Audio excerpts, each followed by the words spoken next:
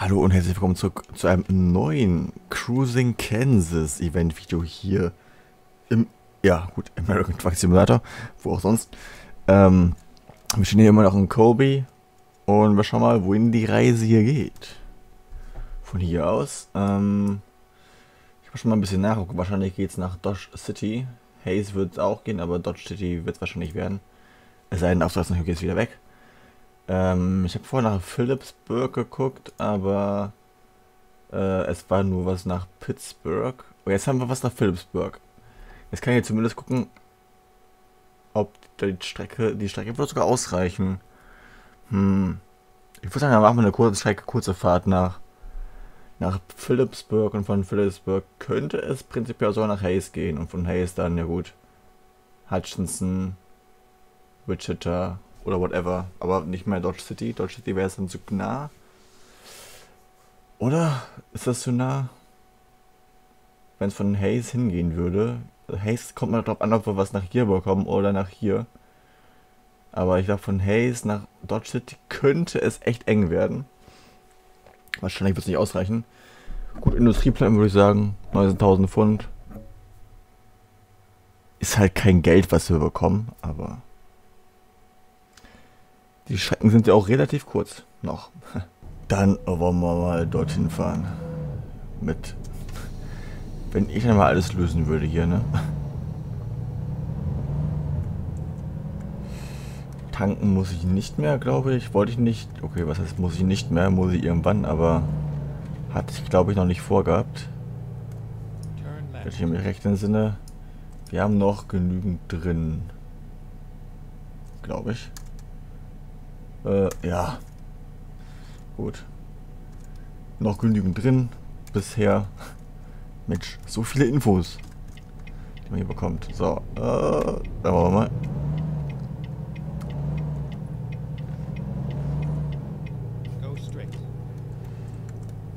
Ich hoffe mal, dass ich, ich... Ich sollte mich auch gleich ein bisschen rechts halten. Ich muss mich hier gleich rechts halten. Ohnehin schon. Ja, ATS-Bank. Wir fangen jetzt diesmal bei der letzten Ladestelle, Abladestelle, fahren wir hier vorbei.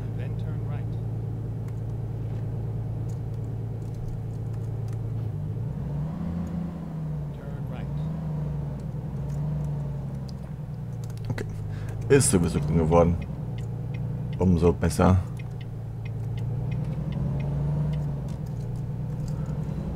Halten wir es mal ein bisschen links und fahren wieder mit dem richtigen Tempo. Ich habe jetzt schon wieder nicht darauf geachtet, wo, dabei wir kein, war es gar nicht so on the fly, wie in der gestrigen Video von ETS 2. Ähm, natürlich wieder mal nicht darauf geachtet, von wo wir abholen. Aber scheinbar von Picket. Machen wir ein Pickup. So, jetzt so mit dieser Belieferung klingt das ja doch schon so ein bisschen. Wie hieß denn das nochmal? Also es gibt ja.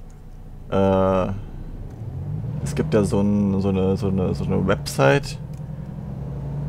Ähm, wo Selbstständige quasi in Amerika äh, auf Frachten bieten können. Und so wirkt das jetzt gerade mit dieser Ladung, dass wir quasi vom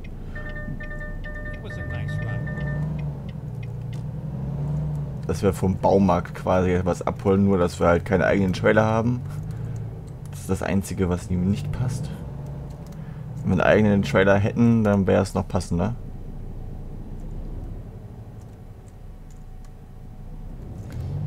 Ich habe schon gerade wieder vergessen, wie überhaupt die Seriennummer hieß. Weil ich es einfach schon zu lange nicht mehr gesehen habe.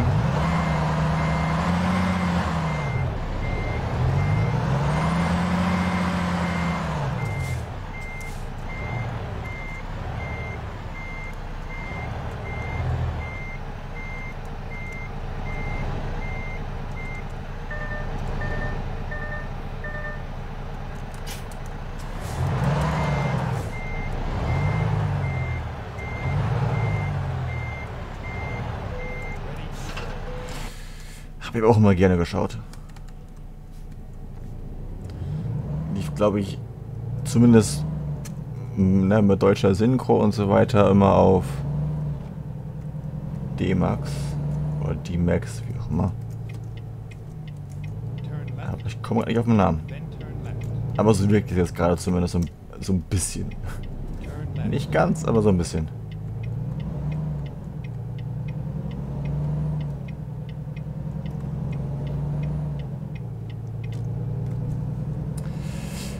Dann wollen wir mal, eigentlich hauptsächlich Landstraße, glaube ich.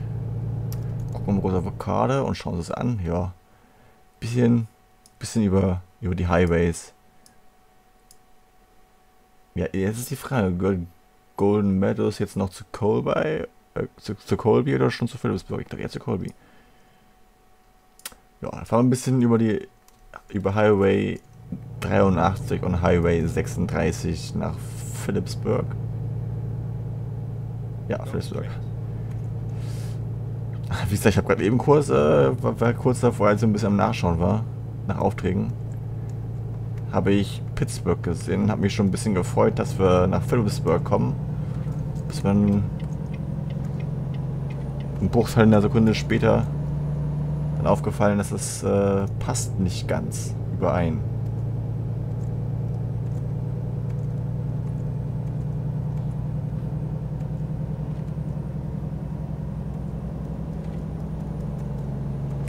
Ein Bahnübergang, sehr schön.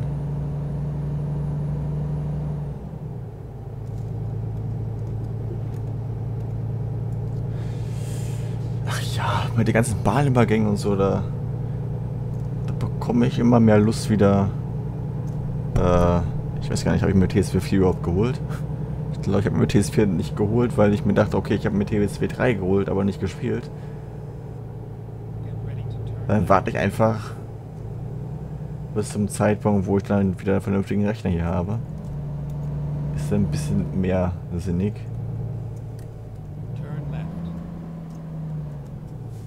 Nicht, dass ich mir dann jetzt TSW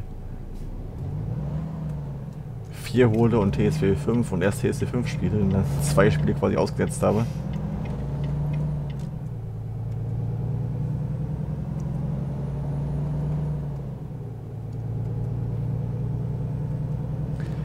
Der Sonnenaufgang ist einfach nur nice. So am Sonnenaufgang und so, da, da kann man sich eigentlich schon fast gar nicht mehr dran satt sehen. Oh, ich sollte vielleicht auch wieder Gas geben. Es wäre sinnvoll, während ich hier den Sonnenaufgang betrachte. Alles einfach, die Skybox ist einfach echt wunder, wunderschön von ETS 2 und von ATS.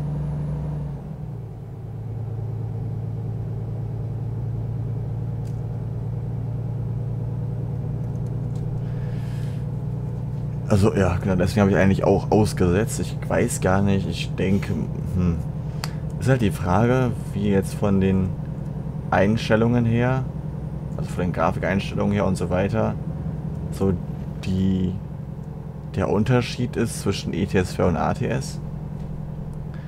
Ähm, ach, zwischen, ne, zwischen SR Software Spielen und die von DTG. Äh, ob man, ob ich prinzipiell einfach schon mich so wieder ransetzen könnte. Noch mit dieser äh, Ersatzmühle, die noch eine ältere Grafikkarte hat, obwohl ich nicht das geplant hatte als die der vorherige PC.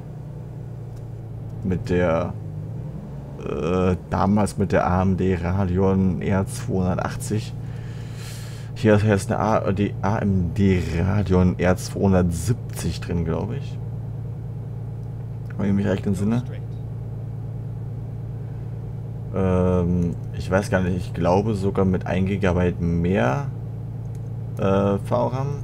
Ich glaube hier, ich weiß nicht, hier sind glaube ich 4 GB VRAM drin und beim anderen war nur 3 GB drin. Glaube ich. Also 3 GB auf alle Fälle und hier, ich glaube 4 GB. Ich weiß aber nicht. Ähm, ich meine aber schon, dass ich es halt deswegen mir dann geholt habe, bis man dann ohne halt so wirklich explizit nachzuschauen. Das habe ich dann in dem Moment natürlich nicht mehr gemacht. Abgesehen davon gab es auch, glaube ich, gar nicht irgendwie eine alte, weitere alte Grafikkarte. Zumindest in dem Moment, die halt passender wäre, also passend war. Ähm.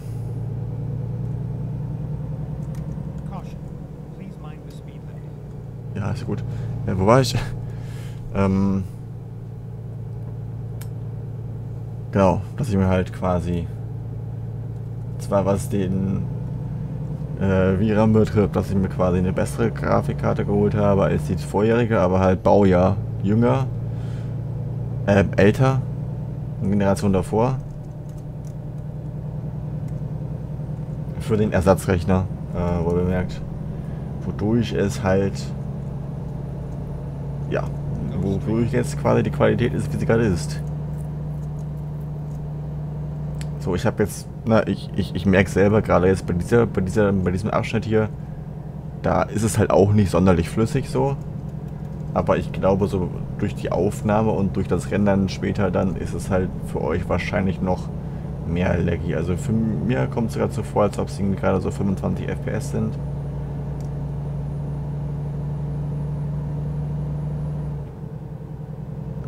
Bei euch wirkt es wahrscheinlich eher wie 20. Zumindest nach meiner Beobachtung, wo ich mal kurz einen Test gemacht hatte. Also, wo ich kurz einen Kontrolltest gemacht habe, aber nach einer Zeit wirkt das natürlich auch wieder ein bisschen anders.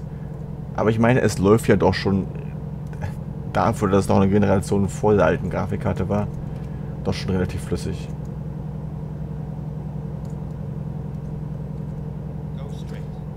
Aber natürlich nicht so flüssig, wie es mit einer vernünftigen neuen Grafikkarte laufen würde.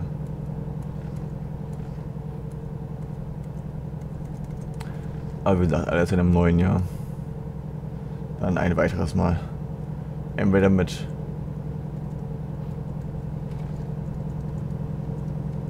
mit Dingens, entweder mit äh, repariertem äh, vom, vom, von Profis repariert oder von mir repariert oder ein neues Ding.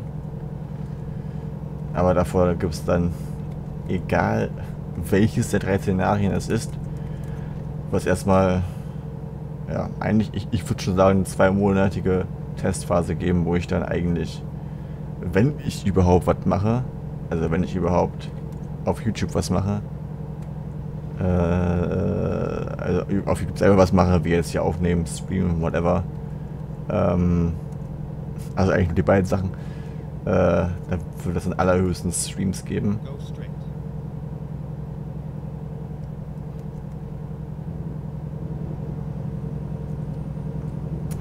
Halt zu ähnlichen Dingen, also vielleicht auch keine Streams, sondern auch Aufnahmen zwischendurch mal, die halt ähnlich sind wie jetzt dieses, also quasi zu irgendwelchen Events von SR Software. Und abgesehen davon werde ich halt die zwei Monate dann nutzen, um den Rechner ausgiebig zu testen, so wie ich es mit diesem hier eigentlich im Grunde genommen sechs Monate gemacht habe, bevor ich dann die Aufnahme gestartet habe. Für dieses Event. In Philips. Ich muss hier links. Ich dachte, ich muss da hinten links. Oh, es geht Richtung... Es wirkt wie Hafen. Aber es ist wahrscheinlich nur Silo.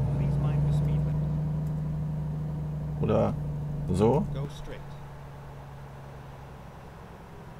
Ja. Oder? Hm.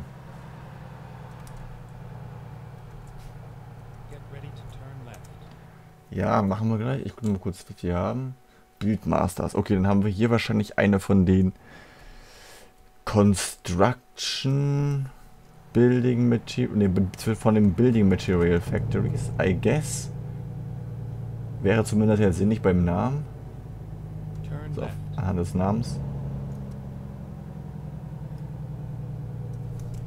Vielleicht fahren wir dann ja gleich von hier aus. Oh ein bisschen spät links abgewogen zu Ecos Transport. Es ist halt einfach cool, dass man halt nicht wirklich nur ein normales Prefab hat von der Firma, sondern halt wirklich so ein individuelles, wo halt noch mehr dran ist, wie mit dem Parkplatz und so weiter. Also es ist halt, ich finde mittlerweile, also es war damals ja schon echt nice und gut, aber mittlerweile sind halt die ganzen Firmen und sonstiges sind halt super nice. Davor hatte man ja eigentlich so ein Prefab, was quasi dann äh, hier endete, in Anführungszeichen, mit dem Sound, äh, Zaun hier bei dem Dings, aber hier ist es einfach ein komplett glatter Übergang. Es ist halt einfach, ja, echt nice. Gute Arbeit von SS Software.